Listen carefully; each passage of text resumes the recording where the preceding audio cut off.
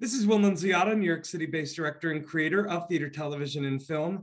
And today I am thrilled to be speaking with the acclaimed singer, performer, she does it all, the one and only Lisa Rogers. But before we get to our interview, here's a sneak peek at Lisa's incredible talent. Hello,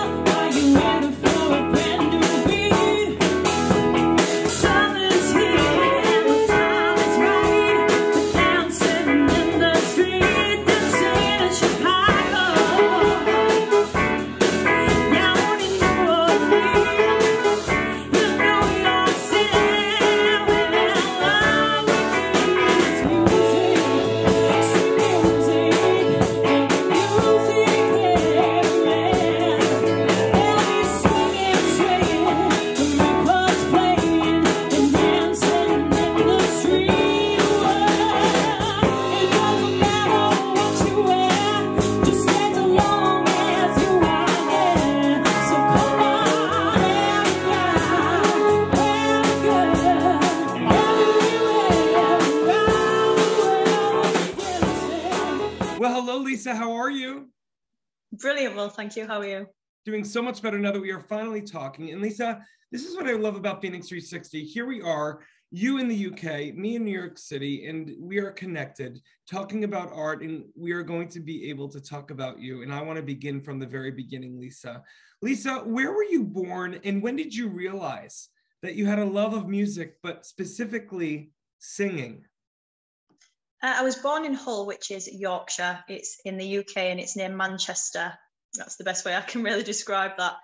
Uh, I first knew since ever since I was really young. My my dad is a pianist and a musician, and he's had loads of experience touring. He's toured New York when he was younger in a band. Um, he's done a lot during uh, through the UK as well. He's, he's toured the Hot Ice Show quite a few years ago. Um, he's done loads of things, cruise ships, everything. So I've been very privileged to have him as an influence, a strong influence in my life, um, as well as my mum, obviously. But he's very musical, so that's always been present, and he can sing. So he always tried to encourage me to sing and get into singing lessons, which I did. Uh, and then it just went from there. I saw some some kind of uh, agency work for seasons abroad when I was early 20s.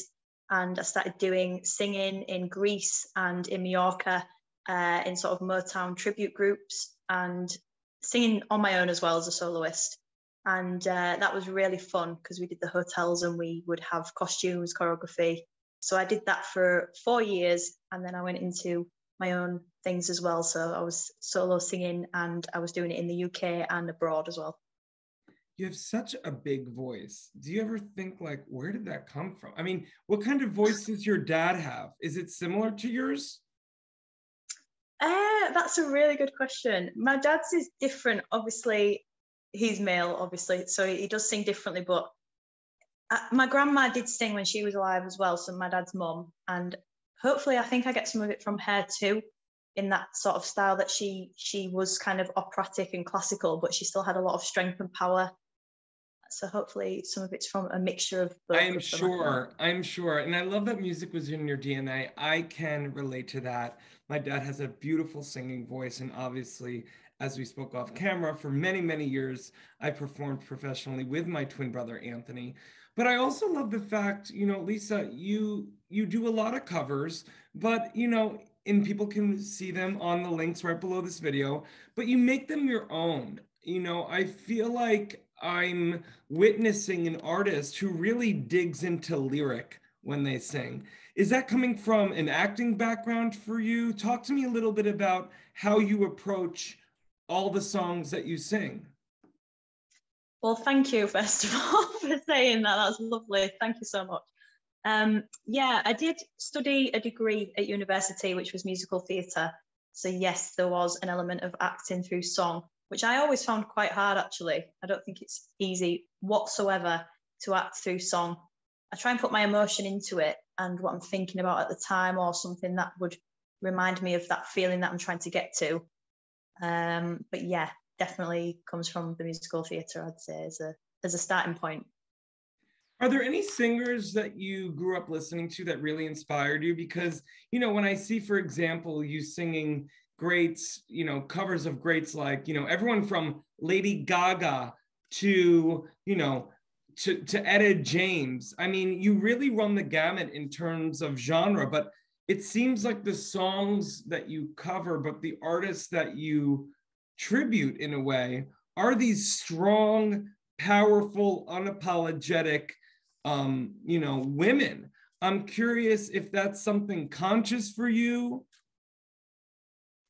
It wasn't. I, I'm not sure it was actually, but now you said that, yes, definitely. When I started having singing lessons, we always did kind of songs to put into a performance with all the students from that school every month or every couple of months and it would either be a theme or an artist so i think i was always looking at different artists and at the time there was lots of strong artists like mariah carey whitney houston celine dion that i would look at that was still current and present at that time and, and still with us at that time but also that i found really influential and inspiring so i did actually yeah when i think about it i did really take influence from all of them I love it. Well, listen, I could speak with you forever, Lisa. I want to let our audience know. For more on the amazing Lisa, you can read more about her right below this video. Lisa, final question for you. Obviously, this has been a tough time for all people, especially artists. For the artists, though, out there that are maybe struggling a little bit with, you know, getting their creative juices flowing, is there any advice that you would give to them? yeah, as you said, it's been really tough for many people everywhere in the world. It's it's so rare that this is a worldwide thing where everybody can relate to it in different ways, but we're all sort of in the same position. I just think a big part of this in life is to just keep going, not give up, just stay passionate about what you're passionate about. In this instance, the music and the creativity and what it is that about the music and the performance that makes you feel a certain way and want to keep doing it so hold on to that and be passionate and be resilient and be strong, and we'll get through it. We'll all get through it. Lisa, you are so inspiring. You're such a beautiful light. I can see it through all of the music, all of your videos, all of your social media. You are such a star. I'm so excited you're coming on board this amazing new social media app, FENIX 360. And selfishly, I'm so grateful that we are now connected. And hopefully, one day soon, we can collaborate. How about that, Lisa? Let's put that out into the universe. Absolutely. I'd love to.